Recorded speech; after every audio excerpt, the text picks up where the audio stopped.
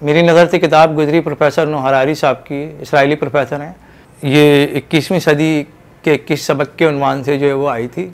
दूसरी किताब जो थी वो इनकी मार्क मैंसन साहब की है और इस किताब का नाम है बुक ऑफ़ होप। इसका तर्जुमा जो है वो मैंने किताब उम्मीद के उनवान से किया है। लेकिन ये सारी चीज़ें होने के बावजूद के अब हम दुनिया की सारी आसाइशें हमारे पास मौजूद हैं, लेकिन हम मायूस क्यों हैं? ये इस किताब का बुनियादी बुनियादी थीम है। मेरे पास ये लॉज हिस्ट्री है माइकल हैमिल्टन साहब ने लिखी है और इसका तर्जुमा मैंने तारीख़ गुमगश्ता के अनवान से किया। इसका अनवान है तख्लीक इरतका और तहजीब। ये तर्जुमा नहीं है बल्कि ये आ, मेरे वो मजामी हैं तनकीदी मजामी हैं जो बुनियादी तौर पर नौहरारी साहब के सेपियंस के जवाब में है। अस्सलाम नाम मेरा है नासिर फ़ारूक। और मेरी उम्र जो है वो तैंतालीस साल है। और तालीमी करियर मेरा जो है वो मैंने मास कॉम जाम कराची से मास्टर किया। उसके अलावा मैंने इंटरनेशनल रिलेशंस में भी मास्टर किया और अंग्रेज़ी अदब में भी मास्टर्स कर रहा था मैं। तकरीबन मेरा आधा मास्टर्स हो गया था। लेकिन फिर उसके बाद कुछ निजी वजूहत की वजह से मैंने जो है वो पढ़ाई छोड़ दी थी। लेकिन ये है कि उसी ज़माने में जब मैं यूनिवर्सिटी में था तो मैंने लिखने का सिलसिला शुरू किया था डॉन अखबार में, अंग्रेज़ी में।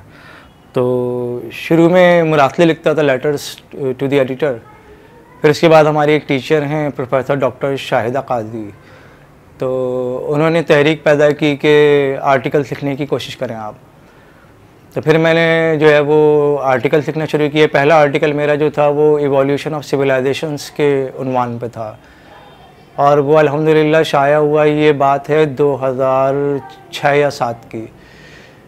फिर उसके बाद जो है वो तकरीबन आठ मजामी मेरे डॉन में छपे। फिर मैं क्योंकि अंग्रेज़ी में ऑडियंस का बहुत बड़ा हल्का नहीं है, इस वजह से फिर मैं आहिस्ता आहिस्ता उर्दू की तरफ़ आया।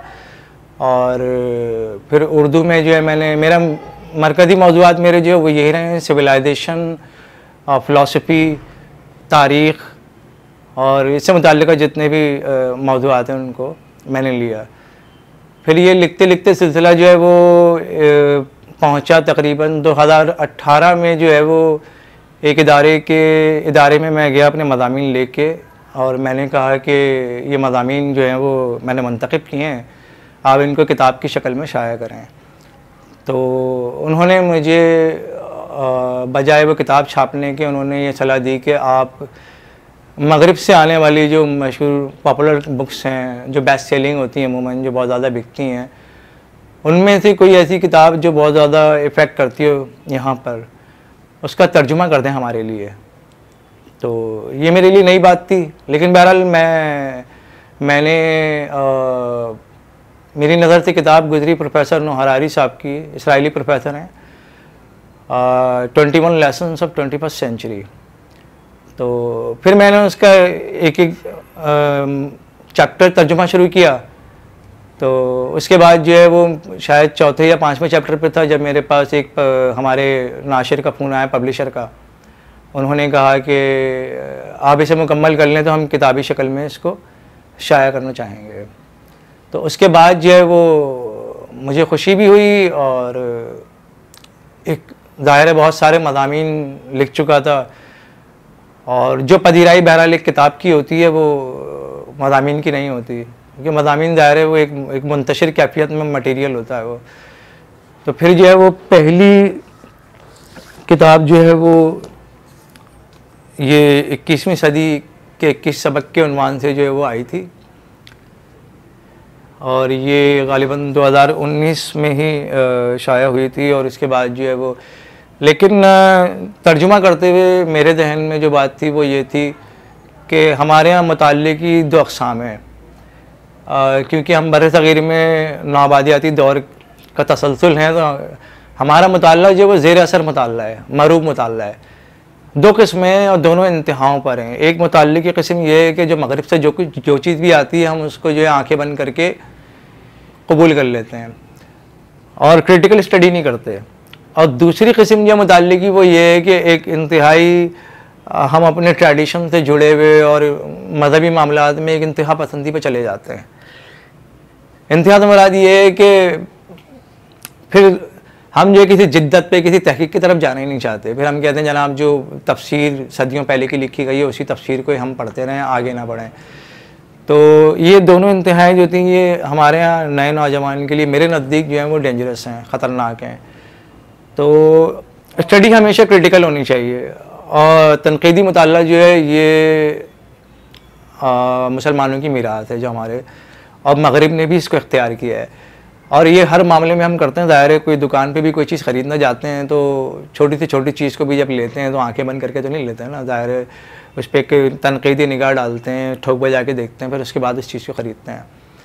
तो मेरे जहन में ये बात थी कि प्रोफेसर नवारारी साहब जो हैं, ये एवेल्यूशन हैं बेसिकली क्या कहलाते हैं, ये इरतका पसंद। तो इनका बुनियादी फलसफा जो है, वो वही है कि जो डार्विन का भी नहीं था, बल्कि अब इसमें इन इनके यहाँ जो है न्यू डार्विनिज़म में एक शिद्दत आ गई है। तो इनका ये ख्याल है कि इंसान जो है, वो अमीबा फिर बंदर से बना है। तो जब बंदर से बना है तो ज़ाहिर है कि वो एक इरतका की जो मंजिल है, वो आगे भी बढ़ेगी। और इंसान आर्टिफिशियल इंटेलिजेंस में जो है वो ट्रांसफॉर्म हो जाएगा। फिर आर्टिफिशियल आर्टिफिशियल इंटेलिजेंस जो है वो इंसान को अपना ग़ुलाम बना लेगा। और फिर हम जो है वो गूगल के और फेसबुक के और ये सारे जितने नए ऐप्स आते हैं, हम इनके ज़ेर असर आ जाएँगे। तो जब मैंने ये किताब पढ़ी, ट्वेंटी वन लेसन्स तो मेरे लिए इसमें बहुत सारी चीज़ें चौंका देने वाली थी और मुझे ऐसा लगा कि इसको पढ़ के हमारे यहाँ नौजवान जो अंग्रेज़ी में पढ़ेगा तो दायरे है कि अगर वो ज़ेर असर मुताल करेगा तो वो उस पर जो असर है वो मज़ीद बढ़ जाएगा। और उसके नतीजे में इसमें जो खामियाँ हैं, वो नज़र से चूक जाएँगी। तो बहरहाल मैंने जब इसका मुताल किया तो क्योंकि तनकीदी मुताल था तो मैंने तर्जुमा इस जहन से किया था कि मैं अव्वल तो इसको समराइज़ करूँगा। और इसमें जितनी मगरब के सियाक़ सबाक में, यानी कि वहाँ के पढ़ने वालों से मुतल जो मदामी हैं या जो मतन हैं, उसको मैंने हदफ करके सिर्फ़ वो हिस्सा लिया खुलासे में कि जो हमारे कारी के लिए ज़रूरी है। लेकिन अल्फाज मैंने नो हरारी साहब के रखे हैं, अल्फाज मेरे अपने नहीं हैं। अलबत्त ये किया है कि मैंने इसके नीचे जो है वो फुट नोट्स में क्रिटिकल नोट्स मैंने लिखे हैं ट्वेंटी वन लेसन्स में। और इसमें इक्कीस उनवान इन्होंने लिए होंगे।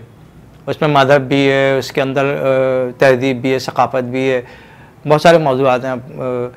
इन्होंने बारी बारी लिया और इन्होंने कहा है कि अब दुनिया जो अगले 20-25 साल में 30 साल में इन सारे जो मदामी हैं, उनवानात हैं, जो हमारी ज़िंदगी से मुतल है मदहब है सियासत है मीशत है, ये सारे बिल्कुल कम्प्लीटली ट्रांसफॉर्म हो जाएँगे और हम जो है ना वो आ, क्या कहते हैं एक बिल्कुल नई दुनिया में दाखिल हो जाएँगे जहाँ पे जो है एक एलिट क्लास होगी जो आर्टिफिशियल इंटेलिजेंस चला रही होगी और वो पूरी दुनिया को कंट्रोल करेगा। बाकी दो अरब लोग जो हैं वो बिल्कुल उनको जो है ना कॉर्नर कर दिया जाएगा और उनके लिए जो क्लाइमेट डिज़ास्टर भी होगा उनके लिए हंगर भूख भी होगी और सारे मसाइल उनके सामने होंगे। तो बहरहाल मैंने जो है वो इन क्रिटिकल नोट्स में जो बात मैंने लिखी वो यही कि इनके फ़लसफ़े में बुनियादी तौर पे कोई नई बात नहीं है। ये ख्याल पहले भी पेश किया जा चुका है और अमलन किया भी जाता है कि बायोलॉजी या केमिस्ट्री या मैथमेटिक्स के ज़रिए जो चेंजेस हमारे आते रहे हैं, उसमें ये पहले भी ये साइंटिस्ट ये दावे करते चले आए हैं कि जनाब दुनिया अक्सर बदल जाएगी, इंसान के हाथ से मामला निकल जाएँगे।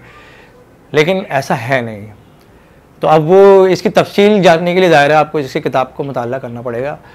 और दूसरी किताब जो है वो, दूसरी किताब जो थी वो इनकी मार्क मैंसन साहब की है। और इस किताब का नाम है बुक ऑफ़ होप। इसका तर्जुमा जो है वो मैंने किताब उम्मीद के उनवान से किया है। और मार्क मैंसन साहब जो है, ये न्यूयॉर्क ब्लॉगर हैं, बहुत मशहूर हैं और बुनियादी तौर पे सेल्फ हेल्प इनकी थीम है, बुनियादी थीम लेकिन इस किताब में जो इन्होंने सवाल उठाया, वो बड़ा अहम सवाल था, वो ये था कि अब जबकि दुनिया में दुनिया में जो मौजूदा आबादी है, इंसान हैं, वो सारी सहूलियात से मुतसफ़ हैं। यानी कि पहले लोग भूख से मर जाते थे वबाओं में मर जाते थे। पहले जो है वो आ, इतनी ज़्यादा मिडिल क्लास इतने बड़े लेवल पे नहीं थी दुनिया में कहीं भी। इंडिया की मिसाल भी दी है लेकिन ये सारी चीज़ें होने के बावजूद के अब हम दुनिया की सारी आसाइशें हमारे पास मौजूद हैं लेकिन हम मायूस क्यों हैं? ये इस किताब का बुनियादी बुनियादी थीम है। और इन्होंने इसमें जो है वो, इन्होंने शुरू इस तरह किया है कि ये किसी भी वाक़े को बयान करते हैं और उस वाक़े की तमसील के ऊपर जो है वो मायूसी की जितनी भी इकसाम है, उसका हल पेश करते हैं। मैंने जो काम किया तर्जुमे में, वो यही किया जो मैंने पहली किताब में किया था कि इसका भी तर्जुमा मैंने मुकम्मल नहीं किया, बल्कि थोड़ा समराइज़ किया, ख़ुलासा किया। और जो बहुत ज़रूरी चीज़ें थी जो हम उर्दू के कारी से मुतल थी वो मैंने ले ली बाकी चीज़ें हदफ कर दी। इसके अंदर मैंने जो फुट नोट्स हैं वो ज़्यादातर मैंने ये कोशिश की है कि इनकी सारी बातों का जवाब जो है वो आ, मुझे कुरान की आयत में मिला। तो जैसे जैसे मैं पढ़ता गया मुझे मेरे सामने कुरान की वो आयतें और उनके तर्जुमे आते रहे जो जवाब की शक्ल में मौजूद थे। लेकिन ज़ाहिर है मार्क मैनसन साहब ने जो है वो कुरान का मुताल किया, नहीं किया मेरे इल्म में नहीं है, लेकिन ज़ाहिर है इस किताब के मुताले से ये बात वाज होती है कि मायूसी बहुत शदीद है। और इस, ज़ाहिर है कि ये इस किताब का मोटिव है, तहरीक है जिसकी बुनियाद पर उन्होंने किताब लिखी। तो मैंने ये कोशिश की है कि उर्दू का कारी जब इनकी किताब पढ़े तो वो किसी मायूसी का शिकार ना हो, बल्कि वो मायूसी के साथ साथ जो है वो नीचे फुट नोट्स पे जो भी मैंने अपने तई इसके अंदर जो हल पेश करने की कोशिश की है, जो कुरान की आयात पेश की हैं, जो वजूहत बयान की हैं कि मायूसी की वजह क्या है इस, और इसको दूर करने के लिए हम क्या कर सकते हैं। ये इसकी बुनियादी थीम है। तीसरी किताब जो मुझे पसंद आई थी, ये मेरे पास, ये लॉज हिस्ट्री है, माइकल हैमिल्टन साहब ने लिखी है, और इसका तर्जुमा मैंने तारीख़ गुमगश्ता के उनवान से किया। तो ये मेरे पास तकरीबन 2007 से ये किताब मौजूद थी। लेकिन ना मैंने पढ़ी थी, ना मुझे मौका मिला था और ना, लेकिन एक जगह जसालत के चीफ एडिटर साहब होते हैं, शाहनवाज फारूकी साहब। उन्होंने एक मजमून लिखा, जिसके अंदर उन्होंने लॉस हिस्ट्री के बहुत से इकतबासात शामिल किए। तो जब वो मैंने पढ़े थे वो बड़े चौंका देने वाले थे, क्योंकि उनमें बड़े इकतशाफात थे। और इन, इनकशाफात की नौीयत जो है वो मेरे लिए तो बड़ी हैरान कन थी। फिर मैंने खैर ये लॉज हिस्ट्री किताब निकाली अपनी लाइब्रेरी से और फिर मैंने इसको पढ़ना शुरू किया। जब मैंने पढ़ना शुरू किया तो फिर मैंने पक्का इरादा किया कि मैं इसका तर्जुमा भी करूँ। तो जब मैंने इसका तर्जुमा शुरू किया तो मुझे बहुत अच्छा फीडबैक मिला। पिछली दोनों किताबों का फीडबैक, बैक भी अच्छा था, लेकिन वो कमर्शल ज़्यादा था। उसमें बहुत से लोग जो थे, वो सिर्फ़ उन्होंने तर्जुमा इसलिए पढ़ा कि वो अंग्रेज़ी के सेपियंस से बहुत ज़्यादा मुतासर थे या नोहारारी से मुतासर थे, बुनियादी तौर पर तो मुझे थोड़ा सा ब्लॉक बैक भी किया लोगों ने कि आपने जो है वो मुसनफ़ के साथ ज्यादती की है। तो मैंने उनसे यही कहा कि मैंने तर्जुमा मुसनफ़ के लिए नहीं किया, मैंने तर्जुमा कारी के लिए किया है। और ये मैंने फ़िल्टर करने की कोशिश की है कि वहाँ से जो बात आ रही है और उसमें जो खामी है, उसको तनकीदी मुताले से दूर करने की कोशिश की जाए। और अपने कारी तक एक अच्छी चीज़ पहुँचाई जाए। तो ये लॉन्च हिस्ट्री के अंदर जो है वो इसमें जो मुसनफ़ का बुनियादी मुकदमा है वो ये है कि मुसलमानों की जो सुनहरे अदवार कहलाते हैं, उनमें अमूमन हम लोग कहते हैं जनाब स्पेन के 800 साल बड़ा हमारा ग्लोरिफिकेशन का टाइम था और इस किताब में जो माइकल हैमिल्टन ने इस बात को प्रूफ किया है कि मुसलमानों का एक सुनहरा दौर नहीं था, बल्कि सुनहरे अदवार का एक सिलसिला था, जो जोग्राफियाई तौर पर और तहजीबी तौर पे जो है वो एक जगह से दूसरी जगह शिफ्ट होता रहा है। उन्होंने पहले, सबसे पहले उन्होंने जो है वो उंदलस को लिया। उंदलस से भी पहले उन्होंने जो है वो बनु मैया के दौर को लिया। बनु मैया के दौर में उन्होंने मिसाल दी खालिद बिन यजीद की। तो हमारे यहाँ लोग यजीद को तो बहुत जानते हैं, लेकिन खालिद बिन यजीद को शायद ही कोई जानता हो, खालिद बिन यजीद जो थे, वो बनु मैया के सिलसिले में पहले आदमी थे जिन्होंने ना सिर्फ़ बादशाहत लेने से गुरेज किया, बल्कि उसके लिए नापसंदीदगी का इजहार भी किया। और ये पहले आदमी थे जिन्होंने मिस्र में पहुँचने वाले यूनानी फ़लसफ़े को सबसे पहले अरबी में ढालने की कोशिश की थी। और फिर उसके बाद यही सिलसिला था जो सरियानी ज़ुबान में फिर तर्जुमे हुए। तो सरियानी कहते हैं सीरियन यानी कि शाम में पाई जाने वाली उस ज़माने की ज़ुबान। कि सुरियानी में तर्जुमे हुए थे। माफ़ कीजिएगा, अरबी सॉरी यूनानी से सुरियानी में तर्जुमे हुए फिर सुरियानी से जो है वो अरबी में तर्जुमे हुए उस ज़माने में। फिर उसके बाद जो है ये इन्होंने हवाला दिया है उंदलस का। तो उंदलस की तारीख तो बड़ी मालूम तारीख है। 700-800 साल मुसलमानों ने स्पेन में जो तालीम का सिलसिला शुरू किया। फिर उसके बाद ये कहते हैं कि सकूत गरनाता के बाद सिलसिला ख़त्म नहीं हुआ। उसके बाद ये यहाँ, इधर यहाँ पे अब्बासी जो थे, वो भी मामून के दौर में जो हाउस ऑफ़ विजडम था दारुलकमत था, वहाँ पे सारा तहकीक का काम हो रहा था। और ये सारा वो ज़माना है कि जिस वक्त यूरोप जो था, वो तारीख ज़मानों में डार्क एजेस से निकल कर जो है, वो बड़ी मुश्किल से बाहर आया था। और यूनान का जितना फ़लसफ़ा है, जितनी तालीम है, वो यूरोप तक जो है, वो अरबी ज़ुबान में पहुँची है। यूनानी ज़ुबान में नहीं पहुँची। फिर अरबी से इनके तर्जुमे जो हैं, फिर वो लातीनी ज़ुबान में हुए, फिर लातीनी ज़ुबान में इन्होंने बहुत बड़ा इल्मी सरका भी किया। इस किताब से ये बात भी सामने आई कि यूरोप में मुसलमान, अरबी, फ़ारसी और दीगर जो सुरियानी के जो ूम थे, उनको बड़ी तादाद में ना सिर्फ़ ढाला गया, बल्कि उन्होंने अपने नामों से ये सारी चीज़ें तहकीक जो है, वहाँ पे शाया की। और जो नाम उन्होंने नकल भी किए हैं, उन नामों को उन्होंने लातीनी में ढाल दिया था। जैसे कि बड़ा मारूफ है इबन सीना को एब सीना कहते हैं ये लोग, इबन रुस को एवरुस कहते हैं। इसी तरीके से बहुत सारे और नाम हैं जो इसके अंदर सामने आए।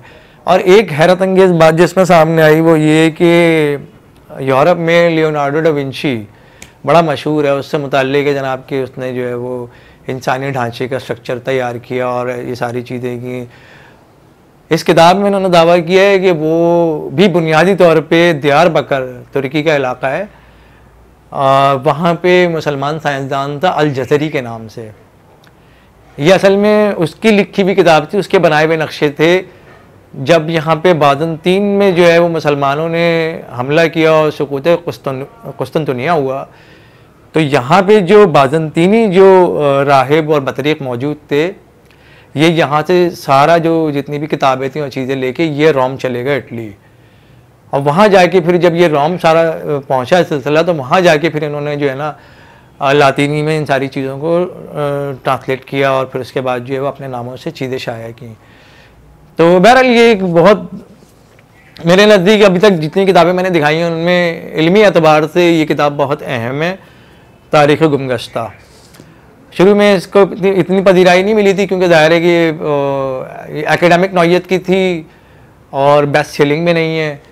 लेकिन ये है कि अब जो है वो गुज्तर कुछ महीनों में इसकी सेल अच्छी खासी देखी गई है। बहरहाल इसका अनुमान है तख्लीक इरतका और तहजीब। ये तर्जुमा नहीं है बल्कि ये आ, मेरे वो मजामी हैं तनकीदी मजामी हैं जो बुनियादी तौर पर नौहरारी साहब के सेपियंस के जवाब में हैं। उनकी एक और किताब है क्या नाम है उसका? हाँ होमोजीनियस जिसमें उन्होंने इंसान को एक देवता की शक्ल में पेश किया है और उन्होंने ये दावा किया है कि अब इंसान जो है वो खुद खुदा बन चुका है और जो है वो अब हर चीज़ जो है वो उससे कंट्रोल में आ गई है। और ये दावा भी किया उन्होंने कि अब इंसान जो है वो अपनी उम्र को जो है वो बहुत ज़्यादा बढ़ा सकेगा, सैकड़ों साल जी सकेगा और उसकी अपनी बायोलॉजी पे, अपनी केमिस्ट्री पे इतना कंट्रोल हासिल हो जाएगा कि अपनी उम्र में वो इजाफा कर सकेगा। तो बहरहाल उन्होंने जो भी फ़लसफ़ा पेश किया है, उस पर तनकीदी मजामी है। उसके अलावा भी इसमें इजाफी मजामी भी हैं। जो ज़्यादातर सिविलाइजेशन से मुतक हैं, मगरब और मशरक़ के दरमियान जो एक ताल्लुक़ चला आ रहा है, उसके ऊपर हैं। तो वो तो जब आप ये किताबें इंशाल्लाह पढ़ेंगे तो आपको सही अंदाज़ा होगा सूरत हाल का। और, बस इससे ज़्यादा मेरा ख्याल है कि मुख्तसरन लेकिन ये मकसद ये है इन किताबों के लिखने का मकसद सिर्फ़ और सिर्फ़ ये था। ये चारों किताबों से मैंने एक रुपया भी नहीं कमाया। ये किताबें जो थी ये गिव एंड टेक की बुनियाद पे थी। पब्लिशर साहब जो है पब्लिशर ने इसको छापना था, कुछ कॉपीज मुझे देनी थी, बाकी बेच के उन्होंने ख़ुद कमाना था। तो एक तरह का वो अंधे और लंगड़े का मामला था। तो उनका माली फ़ायदा कुछ हुआ होगा, और मेरा जो है मेरा बुनियादी मकसद यही था कि इल्मी काम हो, क्योंकि हमारे यहाँ इल्मी काम वैसे ही अनका है, ना होने के बराबर है। और जो हो भी रहा है तो वो इतना कमर्शल है कि उसमें मकसदियत जो है वो कहीं ज़ायल हो जाती है और कमर्शलिज्म आ जाता है। तो तो ओवरऑल हमारे माशरे में, हमारे माशरे में क्या दुनिया में एक इस वक्त हकीकत ये है कि सारी दुनिया जो है वो इस वक्त एक वर्ल्ड व्यू पे चल रही है, तस्वुर जहाँ पर। और वो वर्ल्ड व्यू जो है वो है कैपिटल सरमाया। तो हर चीज़ का का रुझान जो है वो सरमाया तय करता है। आप जहाँ, जिस चीज़ में पैसा जहाँ से आएगा, हमने रुझान को वहीं लेके जाना है। चाहे वो रुझान सही हो, चाहे वो गलत हो। तो इस वक्त अगर आप कोई, किसी ऐसे काम को जानना चाहते हैं, कोई ऐसी तहकीक पढ़ना चाहते हैं कि जिसके पीछे सिर्फ़ और सिर्फ़ तहकीक और इल्म हो, पैसा ना हो तो आप यकीन जानिए कि उसमें आपको सदाकत सच्चाई मिलने के इम्कान बहुत ज़्यादा हैं। बाकी ये जो बेस्ट सेलिंग होती हैं, ये बड़ी कमर्शियल किताबें होती हैं और इन पे बहुत क्रिटिकल स्टडी इनकी होनी चाहिए। और मुताले की दो इकसाम इनसे बचना चाहिए, ना मगरब को रद्द करना चाहिए और ना उससे मरूब होना चाहिए। इसी तरीके से जो हमारा अपना, हमारा उर्दू में जो लिटरेचर है बहुत रिच है। बर सग़ीर में उर्दू ज़ुबान में जो शायरी है, अदब है, वो बहुत रिच है। उसमें बड़ा तनवो है। उसके अंदर बड़ा काम हुआ है। तो हम उसको भी दुनिया के सामने पेश कर सकते हैं, उर्दू से अंग्रेज़ी में भी तर्जुमे कर सकते हैं। बहुत सारी चीज़ें हैं। लेकिन बहरहाल बस ये मकसद ये है इन चार किताबों का कि मुताल जो है वो बहुत क्रिटिकल होना चाहिए। और सारी दुनिया में क्रिटिकल ही स्टडी होती है। कहीं भी जो है वो ब्लाइंड स्टडी कहीं नहीं होती कि आपको कोई चीज़ दे दी जाए और आप मैंने वन उसको पढ़ के जो है वो आगे पेश कर दें। तो बस ये उस रुझान को थोड़ा सा जायल करने की कोशिश है, दूर करने की कोशिश है, जो अंधी तकलीफ़ के नतीजे में पैदा होता है।